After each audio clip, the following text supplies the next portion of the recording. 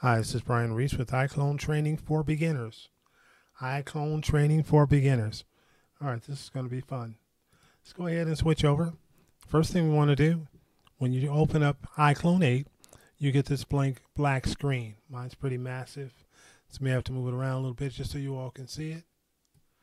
Go ahead and close it down just a tad. There we go. All right. Now, first thing we see is a whole bunch of tools across the top. What we need to do first is go ahead and bring in a, um, a character or an actor. Let's go ahead and click contents, which is where we are right now. These are the contents.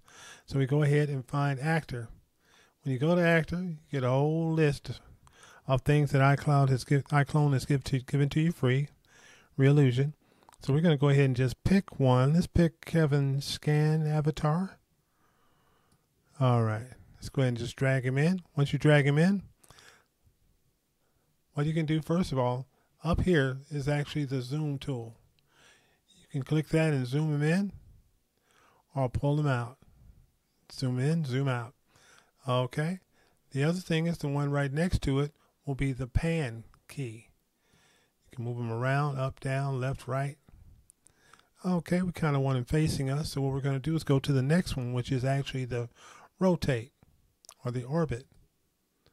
Go ahead and turn them around like this here. All right. You can rotate back. You can rotate to the sides. Okay, once you've done all of that, you can use the mouse wheel and pull him forward. If you want to get a good look at his face, you would actually hit J on your keyboard. Sometimes you may want to make some adjustments to the face. J to the keyboard. Right, J on the keyboard.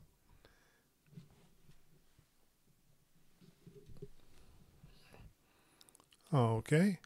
Now another thing we can do is we can make him talk. Let's go ahead and bring him in just a little closer. Just a little closer. Don't you cry. Just a little closer. Air it extra dry. Remember that commercial? Okay.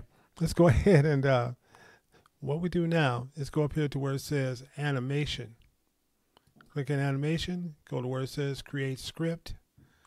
Go ahead where it says record. You can either record one, you can write one out, get an audio file. We're going to go with AccuLips. AccuLips actually causes it to coordinate with the lips so that when he talks, his lips move at the same time. So it can align it with it. Okay. Now, what we do first of all, we're going to go ahead and pull us up a, um, open an audio file. I think I have one in here. We're going to go ahead with the landlord's response from another program I was using. Okay, once you do that, then you get the AccuLips program up here. You can record here, you can type in your text or all those kinds of things. But what we want to do right now is we want to generate the text that came with the audio audio file. Okay, go ahead and generate.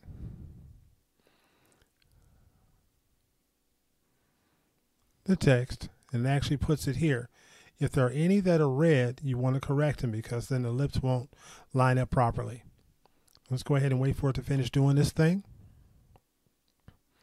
All right. I put in a good statement there. Okay, it's easy for it to read. Now, if you want to play it, you can actually press the button there and play it so you can hear it out of the uh, speakers and that kind of thing. Let's go ahead and. Well, I was told this had been completed. Okay, great. Okay, so that's what it sounds like. Sounds pretty good. Okay, so then what we want to do is click a line. A line will actually make line this up, this information up, or this information up with his lips, so that when he when it's time for him to talk, his lips will actually move while we're while he's talking. Okay, good good deal. Okay, so now what we want to do is go ahead and click a line, so it lines these up with his lips, puts in what's called visemes. Visemes. We can adjust visemes too. We'll talk about that in another tutorial. This one's just the basics. Like they used to say in those old old TV movies, just the facts, ma'am, just the facts. Anybody remember what movie that was? What what show that was from back in the 50s, 60s, 70s, 60s? All right. I'm an old person. What can I say? Either that or I just like old stuff. Okay, here we go. Now let's go with apply. Go ahead and apply, and apply will actually apply it to him. Now make sure when you do this that you line the timeline up with where you want him to talk before you submit it. Okay, before you activate it, make sure you have it the, the cursor where you want it to be when you want him to start talking. I want it to be at the beginning. Okay, and if you, we're going to go ahead and zoom into his face by clicking J again, so you can actually see him talking and moving his lips while he's talking. Well, I was told this had been completed. I meant to call and verify the work, but I didn't, and I apologize. I'll get them up here to repair things today, and I'll stay on property until it's completed. Okay, good deal. Okay, those are just the basics. Just moving him in and out, up and down, left and right, and adding audio to him. Makes it real easy, quick, fast, and in a hurry. Thank you very much for watching. There'll be more tutorials in the future.